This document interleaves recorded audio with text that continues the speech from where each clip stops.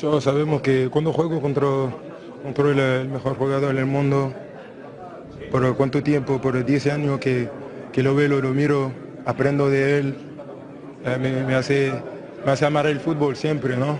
Eh, queremos jugar contra, contra los mejores y, hoy, y hoy ganamos contra los mejores eh, y así que, que diventamos lo- lo- los mejores.